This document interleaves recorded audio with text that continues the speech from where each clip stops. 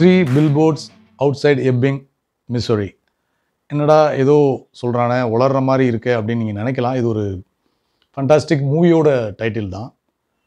Title தான் கொஞ்சம் ஸ்ட்ரேஞ்சாக இருக்கே தவிர மூவி இஸ் ரியலி பியூட்டிஃபுல் சமீபத்தில் ரீசெண்டாக நிறைய மூவிஸ் வெளியே வந்திருக்கும் கேள்விப்பட்டிருப்பீங்க.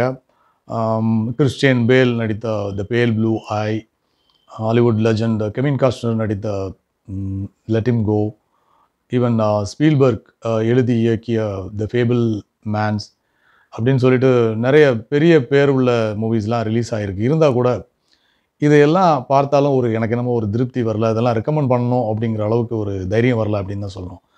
இந்த மூவியை பார்க்கும்போது ரியலி ஒரு ஒரு அருமையான ஒரு என்ன ஒரு ஒரு திருப்தி வந்ததுன்னு சொல்லலாம். ஒரு நல்ல மூவி பார்த்த ஒரு சந்தோஷம் இருந்துச்சு. அதனால் கண்டிப்பாக இதை ரெக்கமெண்ட் பண்ணலாங்கிற ஒரு தைரியமும் வந்துச்சு. ஒருவேளை டைம் நிறைய கிடச்சிதுன்னா வந்து இந்த பேல் ப்ளூ ஐ இந்த கெவின் காஸ்டனரோட லெட்டிம் கோ முடிஞ்சால் பாருங்கள் நோ ப்ராப்ளம் அதே சமயம் டைம் கிடச்சா கூட அது ஃபேபிள் மேன்ஸ் ஸ்பீல்பர்கோட மூவி அது வந்து டைம் கிடச்சாலும் பார்க்காதீங்க அப்படின்னு தான் நான் சொல்லுவேன். பட் ஒப்பீனியன் டிஃபர்ஸ் ஸோ அதனால தான் டூ தௌசண்ட் செவன்டீனில் வெளிவந்து ஒரு சில ஆஸ்கர்ஸ் வாங்கிய த்ரீ பில் போர்ட்ஸே ரெக்கமெண்ட் பண்ணலாம் அப்படின்னு முடிவு பண்ணேன். த்ரீ பில் போர்ட்ஸ் ஸ்டோரி பற்றி கொஞ்சம் பார்த்தோன்னா மேலோட்டமாக பார்க்கும்போது இதுவும் ஒரு கிளிஷேடு பழி வாங்குகிற ஸ்டோரியோ அது மாதிரி ஏதோ தோணலாம். பட் அதாவது தன்னோட பலாத்காரம் செய்யப்பட்டு கொலை செய்யப்பட்ட அதுவும் அதற்கப்புறம் எரிக்கப்பட்ட தன்னோட மகளோட இந்த இறப்புக்காக நீதி கேட்டு போராடுற ஒரு தாயோட கதை அப்படின்னு சொல்லிட்டு ஈஸியாக சொல்லிடலாம். But director மெக்டோனாவோட brilliant writing makes this movie very unique and very fast and very engaging அப்படின்னு தான் சொல்லணும் ஏழு மாத காலம் ஆயும் தன்னோட மகளோட இறப்புக்கு அப்புறம் போலீஸ் தரப்புலேருந்து எந்த விதமான முன்னேற்றமும் இல்லை அந்த கேஸில் அப்படின்னு சொன்னோடனே இந்த தாய் மில்ரெட் அவங்க ஒரு வித்தியாசமான ஒரு நூதனமான முயற்சியில் இறங்குறாங்க. அதாவது விஷயத்தை தன்னோட கையில் எடுத்துக்கிறாங்க. அதன் மூலம் இந்த ஒட்டுமொத்த டவுன் அதாவது அந்த ஊரையே வந்து பகிச்சுக்கிறாங்க. ஈவன் அவரோட சொந்த மகன் டீனேஜ் மகன் கூட இந்த முயற்சிக்கு வந்து சப்போர்ட்டாக இல்லை அப்படிங்கிறது. இந்த அம்மா மில்ட்ரட் கேரக்டர் வந்து ஃப்ரான்சிஸ் மெக்டாமண்ட் அவங்க பண்ணியிருக்காங்க இது ஒரு ஆஸ்கர் வின்னிங் பெர்ஃபார்மன்ஸ் அவங்களுக்கு. ரெண்டாயிரத்தி பதினெட்டில் இரண்டாவது முறையாக பெஸ்ட் ஆக்ட்ரஸ் ஆஸ்கர் வாங்குறாங்க.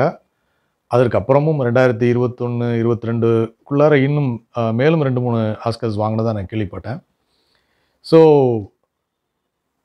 அந்த பெர்ஃபார்மன்ஸ் பற்றி சொல்ல வேண்டிய அவசியமே இல்லை அப்படின்னு தான் சொல்லுவோம் மகளை இழந்த சோகம் ஒரு பக்கம் நீதி கிடைக்கலையே அப்படிங்கிற விரக்தி ஒரு பக்கம் தனக்கு சப்போர்ட்டாக ஒருத்தங்க கூட இல்லையேன்ற வேதனை ஒரு பக்கம். ஆனாலும் சாமானியனா என்னால் எவ்வளோ முடியுமோ அவ்வளோ நான் வந்து போராடியே தீர்வேன் அப்படிங்கிறது ரொம்ப தீர்மானமாக இருக்கிறதா இருக்கட்டும்.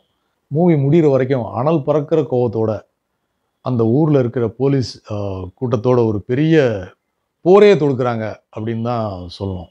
இவ்வளவு சீரியஸான ஒரு ஸ்கிரிப்டை வச்சுக்கிட்டு மூவியை வந்து ஆடியன்ஸை தூங்க விடாமல் வேக வேகமாக கொண்டு போகிறதுங்கிறது ஈஸியான ஜாப் கிடையாது. டைரக்டர் மார்ட்டின் மெக்டோனா வந்து அவரோட ப்ரில்லியண்டான ரைட்டிங் அப்படின்னு தான் சொல்லணும். அதை வச்சுட்டு மூவியை எவ்வளோ வேகமாக கொண்டு போக முடியுமோ எவ்வளோ விறுவிறுப்பாக கொண்டு போக முடியுமோ அவ்வளோ விறுவிறுப்பாகவே கொண்டு போயிருக்காருன்னு தான் சொல்லணும். இது போக மூவி முடிகிற வரைக்கும் காமெடிஸ்க்கு பஞ்சமே இல்லாமல் பார்த்துருக்காரு அப்படிங்கிறதான் முக்கியமான விஷயம். அவரோட மூவிஸ் அப்படின்னாலே வந்து நடிச்சிருக்கிற எல்லா கேரக்டருமே வந்து மறக்க முடியாததாக இருக்கும்.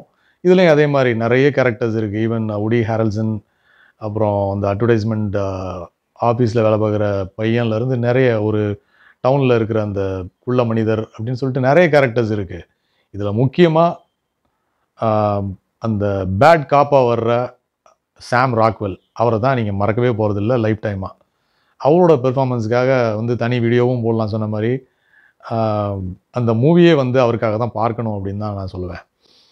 அந்த டேபிளில் போலீஸ் ஸ்டேஷனில் டேபிளில் காலை தூக்கி போட்டு இயர்ஃபோனில் மியூசிக் கேட்குறதா இருக்கட்டும் ஆப்போசிட் சைடில் இருக்கிற ஆஃபீஸில் உள்ள பையனையும் அங்கே வேலை பார்க்குற பொண்ணையும் போட்டு பரட்டி எடுக்கிற சீனாக இருக்கட்டும் தன்னோட வயதான அம்மா முன்னாடி அந்த அம்மா சொல்கிற அட்வைஸை ஒரு சின்ன பையன் எப்படி கேட்பானோ அது மாதிரி பொறுமையாக கேட்குறதா இருக்கட்டும் அப்புறம் தன்னோட சீஃப் தனக்காக பர்சனலாக எழுதின லெட்டரை ரொம்ப ஆர்வமாக தனக்கு பின்னாடி என்ன ஆபத்து வருது அப்படிங்கிறதே தெரியாமல் படிக்கிறதா இருக்கட்டும் அந்த லெட்டர் ஏற்படுத்தின ஒரு பாதிப்புக்கு அப்புறம் வேற ஒரு அவதாரம் எடுக்கிறதா இருக்கட்டும் அந்த மூவியில் மிஸ்டர் அதாவது சாம் ராக்வெல் வந்து இஸ் ரியலி ராக்டு ஸோ அவருக்காக இந்த படத்தை மிஸ் பண்ணாமல் இந்த மூவியை மிஸ் பண்ணாமல் பார்க்கலாம்.